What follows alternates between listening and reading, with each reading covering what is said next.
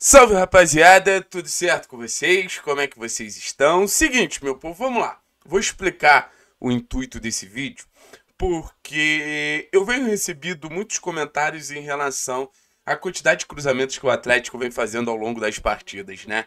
E obviamente eu também venho percebido, o Atlético é um time que nesse início de trabalho do Osório, ele cruza muitas bolas.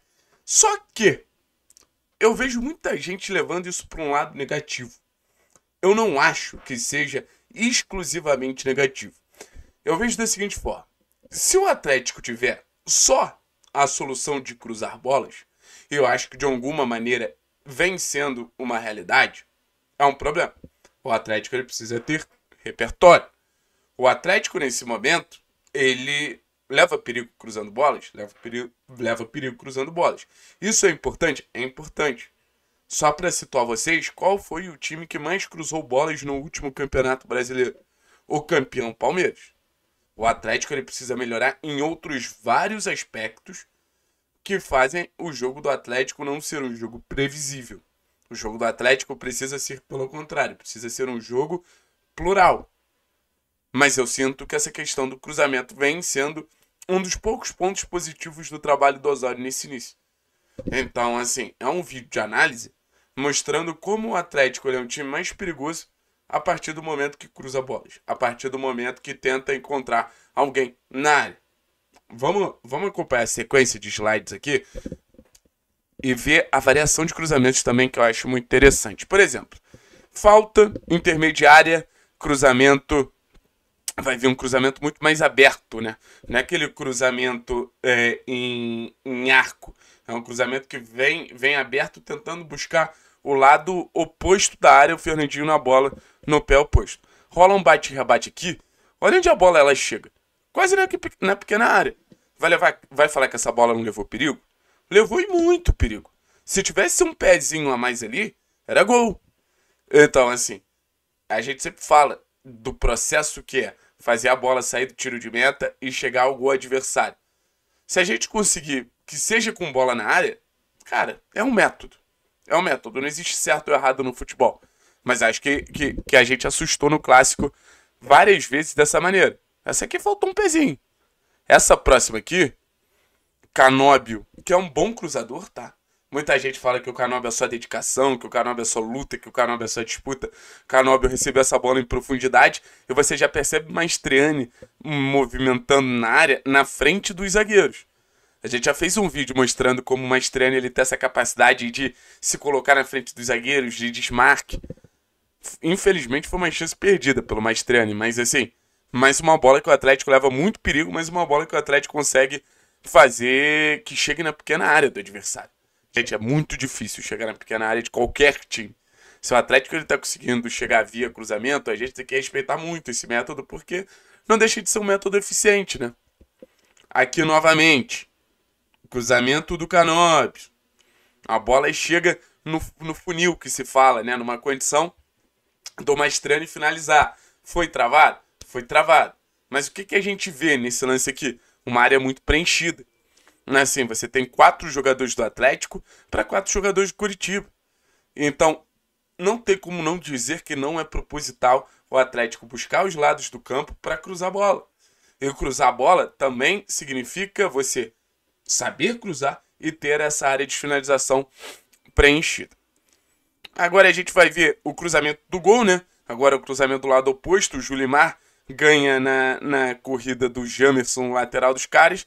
E olha como a área novamente tem um 2 a 2 aqui. Dois jogadores do Curitiba, dois jogadores do Atlético. A bola cruza a área, chega no Canóbio, obriga o Pedro Morisco a fazer uma grande defesa e o Mastrani estava ali. Então o Atlético ele tinha o cara da primeira finalização, o cara da segunda finalização na área. Só que é, é interessante esse movimento dos extremos, né? De um um extremo cruzar para outro extremo, um ponta cruzar para outro pronto, ponto. Então, o ponto ele não tem que significar. É, é, ele não tem que ficar sempre aberto. O ponto, às vezes, quando você tem o, o, por exemplo, ponta direita, quando ele tem o ponto esquerdo cruzando, ele tem que atacar a área. Ele tem que gerar volume na área, ele tem que gerar número na área, porque ele vai estar tá naturalmente numa condição de finalizar. Em outros momentos, eu, não, eu nem percebi se o Julimar estava na área nos cruzamentos do Canóbio. É que é, é difícil reconhecer nesse. Quando, quando os bonequinhos estão aqui, mas acredito que esteja assim, cara. Sendo bem sincero, acredito que esteja assim. Acho que esse aqui é o Julimar, o Eric, enfim. Mas é importante, um tá cruzando, o outro também tá se colocando na zona de finalização. Zona de finalização tem que estar tá sempre preenchida. Mais um cruzamento no clássico, dessa vez do Christian. O Christian bota novamente a bola na pequena área. Então, assim, foram três vezes que a bola chega na pequena área do Curitiba a partir de cruzamentos que a gente não consegue aproveitar as chances. Então, acho que a gente também tem que falar sobre a eficiência que o Atlético tem na hora de finalizar. Porque na hora de cruzar, a gente está fazendo essa bola chegar numa zona perigosa. Eu acho que faz parte do trabalho do Osório aprimorar esses cruzamentos ao ponto deles serem mais eficientes também. Agora, no jogo contra o Operário, cruzamento um pouquinho diferente, né? Porque você tem aqui é, Canóbio tabelando com o Filipinho e você tem o Zapelli chegando de trás. Então, não necessariamente o cruzamento tem que ser na frente da defesa, o cruzamento tem que ser pelo alto.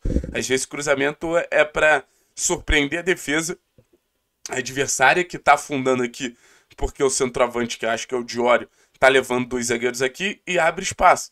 Então o centroavante ele também tem muita responsabilidade de fazer com que a marcação foque nele para que outros jogadores surjam como elemento surpresa.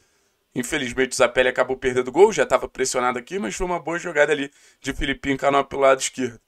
Agora a gente vai ver uma jogada contra o Cascavel. Cruzamento do Canóbio que eu digo para vocês, cara. O Canóbio cria muita chance cruzando bola. O Gamarra ele acaba cabeceando na entrada da área, mas olha a quantidade de gente que o Atlético ele tem para encontrar essa bola, para cabecear essa bola. E o goleiro acaba fazendo a defesa no cantinho. Mais uma vez, agora cruzamento do Coelho. E olha, um zagueiro com Pablo, outro zagueiro com Maestriani e outro zagueiro com ponto oposto entrando na área, que é o Canóbio. Então, cruzamento lá do Coelho, o Canóbio está agredindo a área. Esse movimento o Canóbio faz muito bem. Faz muito bem. O, o Maestriani acabou perdendo esse gol, mas acho um lance interessante, bem desenvolvido. O cruzamento do Coelho foi bem bom também. É, vamos lá, agora pro gol. Fernandinho recebe a bola. Quando o Fernandinho recebe a bola, olha quanta gente já tá atacando, pronta para atacar a área, né? Ainda não tá atacando a área, mas está prontinha para atacar a área. Olha quanta gente está, assim, indo em direção à bola. Mais de um jogador vai em direção à bola para tentar finalizar ela. Aqui, novamente, mais um cruzamento do Canóbio. Eric chegando de trás, Pablo e Maestriani dividindo a atenção da defesa. Maestrani acaba cabeceando a bola na marca do pênalti na mão do goleiro, mas mais uma chance perigosa do Atlético. Então, assim, o que dá para dizer, cara, é que o Atlético ele ainda tá encontrando maneiras de atacar. O Atlético ainda está encontrando maneiras de agredir o adversário. E eu tenho certeza que conforme o tempo for passando, ele vai encontrar um repertório maior, finalizando de longe, construindo por dentro, criando dinâmicas ali. Mas no final das contas, o que eu sinto, pelo menos, é que os cruzamentos ao longo de toda a temporada vão ser uma arma do Atlético. O Atlético tem jogadores que cruzam bem. Tem o Canóbio que cruza muito bem pela esquerda. E minha aposta é que tem o Godoy que vai chegar e vai ser mais um jogador que vai potencializar isso. Mas cruzar não é só jogar bola na área. É ter sempre a área preenchida. Então, por isso que é importante Mastriani, Pablo, Zapelli, Eric vindo de trás também, junto ao centroavante, para criar esse volume dentro da área. Acho que pode ser uma arma muito interessante ao longo da temporada. Acho que pode ser uma arma que vai aproximar o Atlético do gol e naturalmente aproximar o Atlético das vitórias. Lembrando que o Atlético vem sendo um time que vem fazendo poucos gols de cruzamento, assim. Pelo menos que eu, posso estar enganado, mas a impressão que eu tenho é que o Atlético faz poucos gols de cruzamento. Quem sabe não é uma arma secreta aí do professor Osório para sequência da temporada. Enfim, entre muitas críticas, acho que os elogios valem a ser feitos também. Valeu? Tamo junto, é nóis.